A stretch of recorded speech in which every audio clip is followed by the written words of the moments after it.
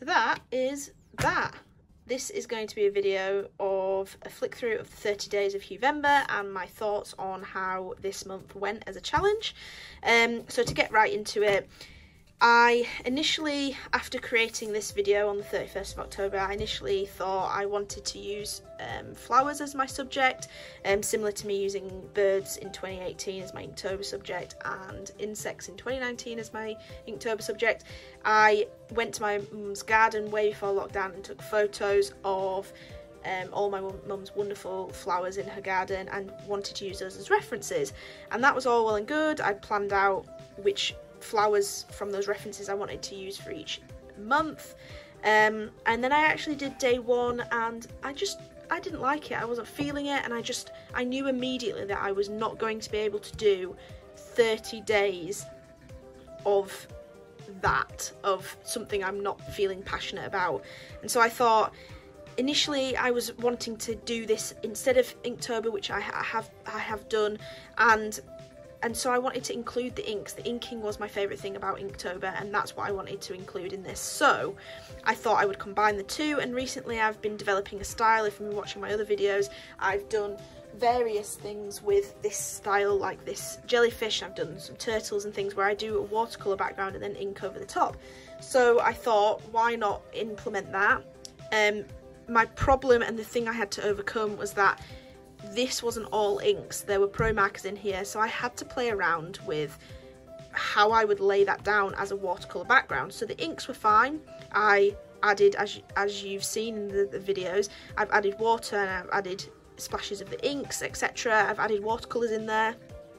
But for things where I've found the perfect colour in a pro marker let's say or a Copic um, I couldn't I couldn't do it. I tried mixing alcohol ink and kind of making my own thin inks, um, almost like you'd find in a Copic refill, um, and I tried squirting that on there, but this paper was definitely not made for that. This handmade paper barely held kind of a good form on the watercolours without it bleeding everywhere, so that was definitely no no. So although I found all the colours in, in all the Pro markers and Copics, I've had to actually substitute that for a mixing of my acrylic inks or my water-based inks or my watercolours. So a lot of these named um, supplies here actually were not used in the end.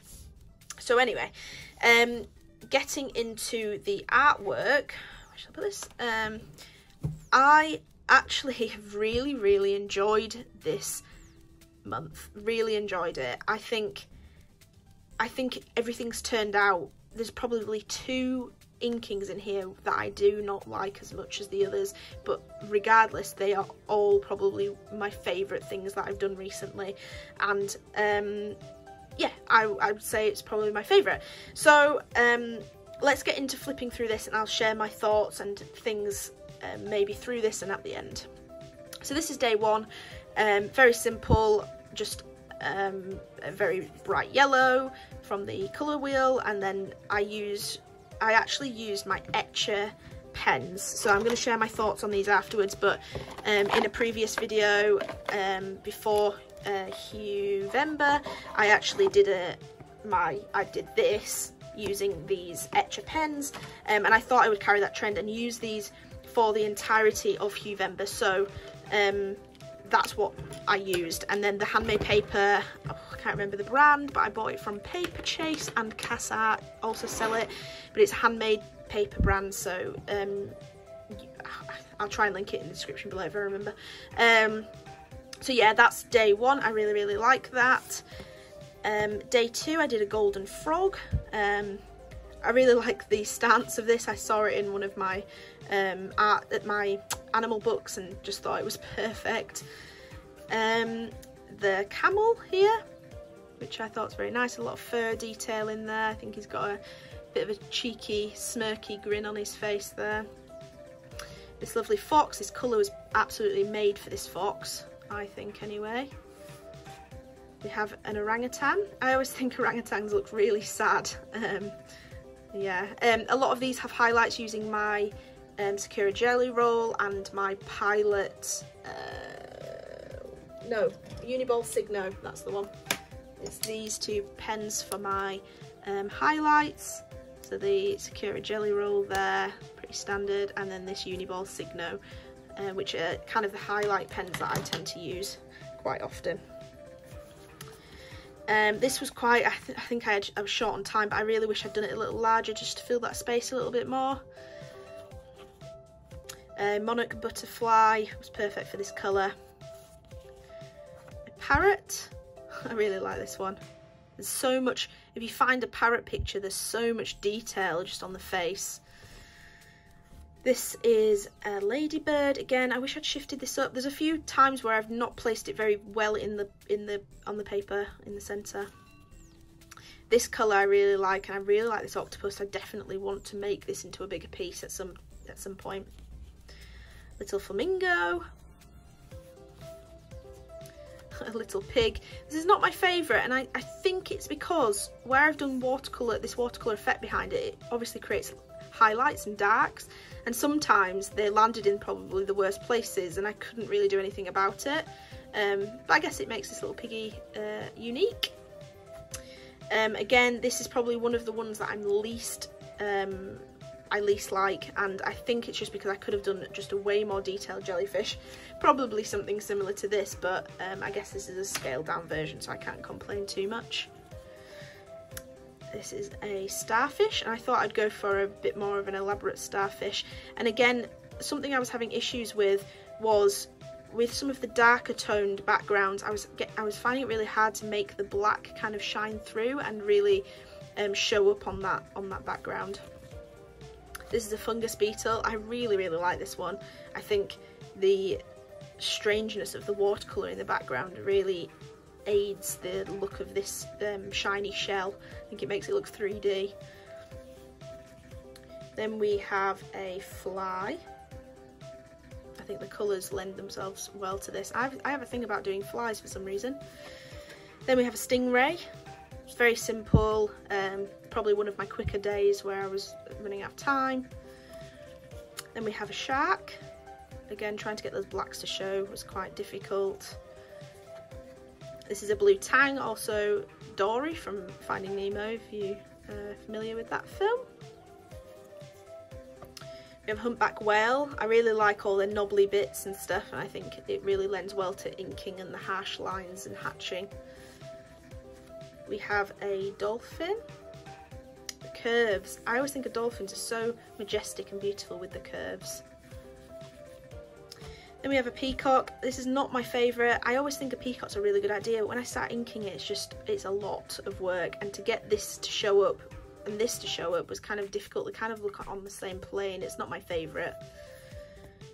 Then we have, um, what's it called? Uh, honey, I think it's a honey, I've got this written down somewhere. A green honey creeper, that's the one green honey creeper. They actually come in a few blues and greens, these. Very nice. Turtle. I quite like the mix of colours here. This is where I've mixed some colours to try and get a mid hue. Um, and it looks quite nice actually. Then we have a mallard duck, which are such a common duck and they're so beautiful here in the UK anyway.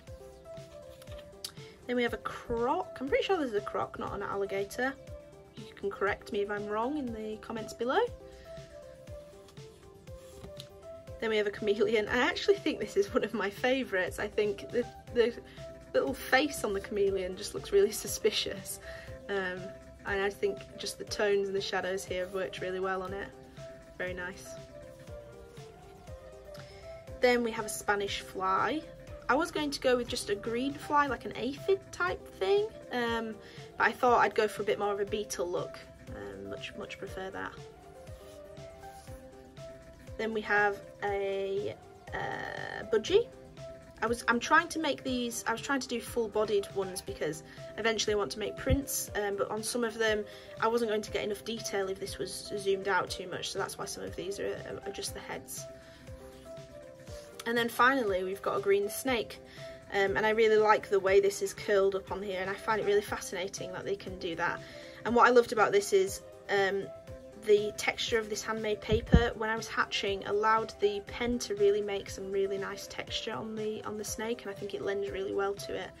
um, and the bark I actually really enjoy doing. I should do some more types of things like that. And that's that. So yeah, like I say, I'm really, really pleased with all of those. Um, I think I've, I've managed to do some good um, days with that. Um, again, like I said, I was going to mention, I use predominantly out of my Etchr pens the small bullet nib, the 005 and the 01. What I will, they've been very, very good. Things that to, I want to mention about these pens, um, I found it really difficult for the thinner pens to lay down a dark black colour, so I'd have to come in with this thicker pen, which was good, but if I wanted a thin line, it wasn't the best because I couldn't then keep the line thin if I wanted it to be darker so that's why some of these were didn't have the contrast that I would usually get. And and secondly I just want to show you that I have absolutely obliterated this 05 there is no nib there at all it is completely gone. Um, and I, I actually um, I think it only just stretched to the last day. So